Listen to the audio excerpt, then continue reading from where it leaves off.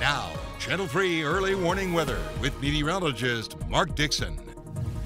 All right, across Connecticut, we are trending a little bit milder, of course, compared to yesterday. Our normal high for this time of year is 42 degrees, and today we'll take a run at the 40 degree mark. And as we head forward in time, our sky will turn a little bit brighter for tomorrow as well as for Friday, and temperatures trend a bit warmer too. Right now, we're still in the low and mid 30s throughout inland Connecticut, close to 40 along the 95 corridor. And we do have this southwesterly wind. Yesterday it was northerly, so that helped to bring in some of that chilly air that we started the day with, but now the wind has switched to the southwest helping to bring in uh, some relatively milder air. But regardless of wind direction, when you factor in the wind, it makes it feel several degrees colder uh, across the state. So you'll still want to dress appropriately accordingly this afternoon if you're heading out and about. We do have a, a right cam view here from New Haven showing fairly overcast conditions uh, really all across the state. There's the view from Torrington as well as from Storrs also into our capital city. In fact, from here you can see a few patches of blue as we look toward the east and southeast over the Connecticut River. There's the top of 777 Main.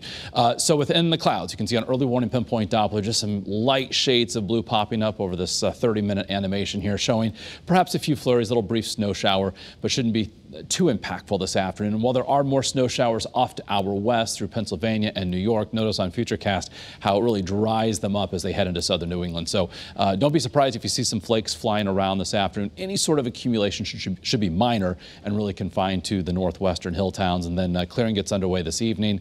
And then throughout the day tomorrow, we'll certainly see a much brighter day uh, with a partly to mostly sunny sky. And uh, temperatures trend even milder. So we'll start tomorrow uh, near 30 as opposed to teens and 20s like this morning. Tomorrow afternoon, mid 40s, close to 50, mostly sunny as we close out the week. Then for the upcoming weekend, we'll see an increase in cloud cover Saturday, perhaps some late day showers with the arrival of a warm front. Highs could reach the low, if not mid 50s. And then over the second half of the weekend, several degrees warmer than Saturday with a continued chance for showers. Does not look like a washout as a cold front moves through behind that will trend cooler and windy.